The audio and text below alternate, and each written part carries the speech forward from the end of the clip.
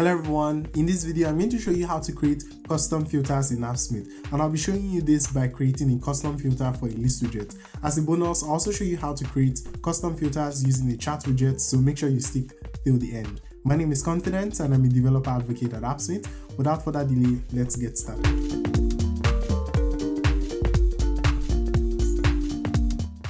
Alright, so taking a look at the application we have here on the screen, we have a simple list of users being displayed right here.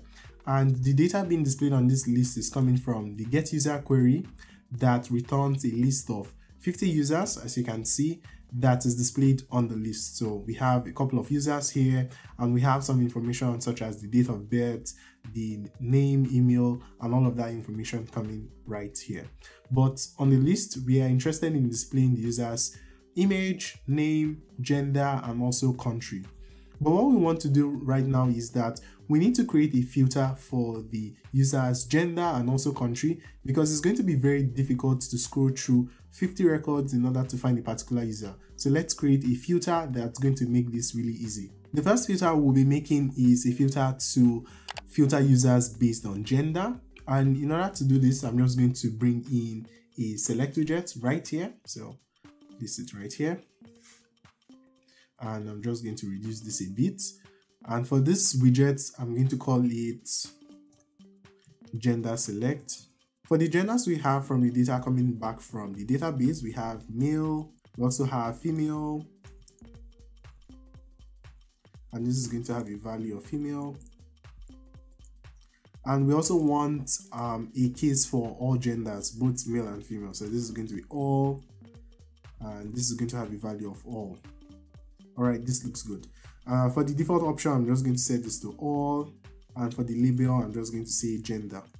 All right and here we have the gender select um, built. But what we want is that we want to configure some logic so that when the gender is changed from this drop down it is actually applied as a filter on the list because right now nothing happens uh, if I change the gender. So in order to do this, I need to write some JavaScript to implement the filter logic and I can do this using the items um, text box we have right here. But pro tip, you can also use the JS editor for this. So let's actually use the JS editor. So let's go to create a new JavaScript file. I'm just going to create a new JavaScript file and call this utils. All right and inside of this file we need a function to perform the filter for users. So let's call this um, filter users. All right and this is going to take in some data as the parameter to the function. Because we are building this let's pass some default data using the data from get users data all right and we have that set up. First thing i'm going to do here is create a variable to store all the users that will be filtered. So let's say let users. And the first step is that this is going to have all users um, being passed or stored inside of it. So this is data and we can go into return this. Alright, so we can test this function out by clicking on the play button here and we see that we have all user data coming back but we actually need to implement the logic for the filter and in order to do this we can write some if statement and do a check to see if the gender selected from the um, drop down is not equals to all. So this is not equals to all. If it's not all then we can actually go in to apply the logic for the filter so this is going to be users equals to users dot filter and for the filter condition, we want to make sure that the user's gender is the same as the gender selected from the gender drop down. So this is going to be gender select dot selected option value. Yeah, this looks good. So we can go back to make use of that function in the list. So for this list widget, what I can do here is to pass the data coming from the get user data as a parameter and then make a call to the filter user function. So this is going to be utils dot filter users and then we are passing the data coming from get users the data as a parameter to the call and we have the users coming back. So we can go into test this filter by changing the gender to female, for example, and you can see that we have uh, the female gender showing up, or we can go back to changes to all, and we have both male and female showing up on the list. So this filter actually works. I'm going to show you how to also implement a filter for the countries. So we have different countries right here. Let's go create a filter for this as well. So in order to do this, we need to bring in a select widget, and this is going to be for the country, as you already guessed.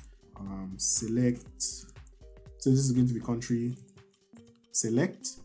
For the options, we do not want to hard code the options like we did for the gender because uh, the options should be based on the data returned from the database. So we need the options to be dynamically built based on the data returned from the get users.data query. So let's quickly do that by writing some JavaScript here.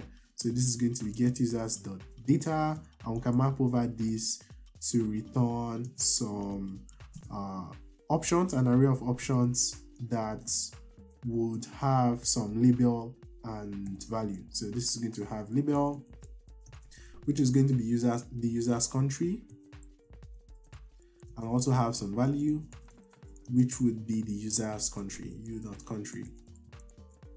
All right, and taking a look at this, we have an array of objects that have some label and value based on the user's country. But we'll have an error here, and you can see that we have a debugger error, and the same also shows right here at the bottom corner. We have an error telling us that the values must be unique, and that's because we have duplicate countries being added in the array. So to fix this error, we can use the uh, Lodash library. So this is going to be underscore dot unique by. All right. And we want this to be unique by value. So passing value as the second parameter to the unique by function. All right. And you can see that we have unique countries showing up. Last thing we need to do here is to add a fallback for all countries. So we need to do a dot concat and adding just one more object that have a label of all and a value of all. All right and now let's go into set the default option. So this is going to be all and same also goes for the label text. This will be country. All right and this looks good. We've been able to build out the country select. So similarly, we need to implement the logic for this select widget such that whenever it changes, we actually go to apply the country that was selected here as a filter for this list. So let's set this back to all and I'm going to head back to the filter users function.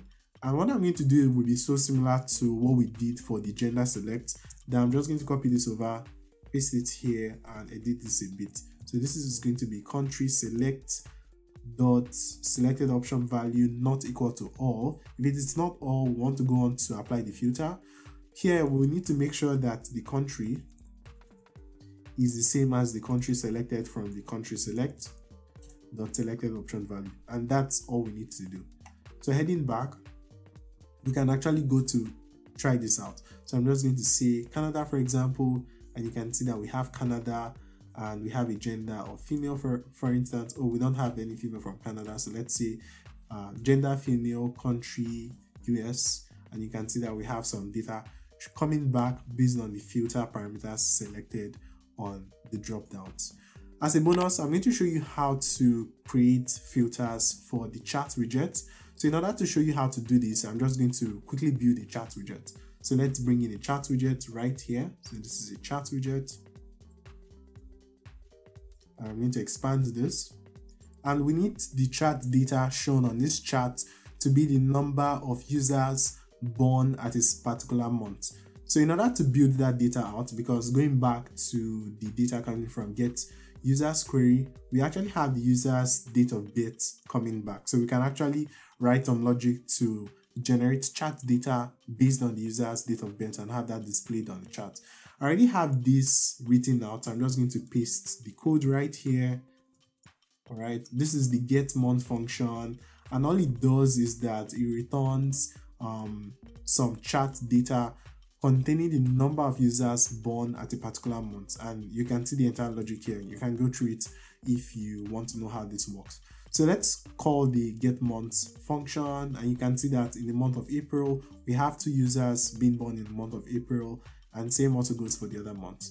So we can head back to the chart widget and actually display that data here. So, so this is going to be utils dot get months and you can see that we have that data displayed here for example, in the month of September, we have 80 users being born in the month of September. But what we want to do at this point is that we want to go ahead to make use of the filter we have built right here to also filter the data shown in the chart as well as in the list widget. And to do this is really easy. So let's head back to the function generating the list of data shown in the chart. We can actually go in to make use of the user filter here or the filter users function here right within the get month function. To do this, we can pass the data that is being filtered in the get month function as a parameter to the filter user function. So this is going to be this dot filter users and that's all we need to do. We're passing the data as a parameter to that function and that function returns an array of filtered users and then we actually use that data returned back to build a list of data points for the chart widget. So let's go to check this out. All right. So we have all, for example, we have all months with uh, female births showing up on the chart. We can go to select a specific country or we don't have for Canada. So let's say male, for example. And you can see that in the month of March, we have one person born in the month of March who has a gender of male and a country from Canada. So this is how easy it is to build custom filters for your widget on AppSmith. I hope you found this helpful. If you have any questions, do let me know in the comment section. And till I see you next time, take care. Bye bye.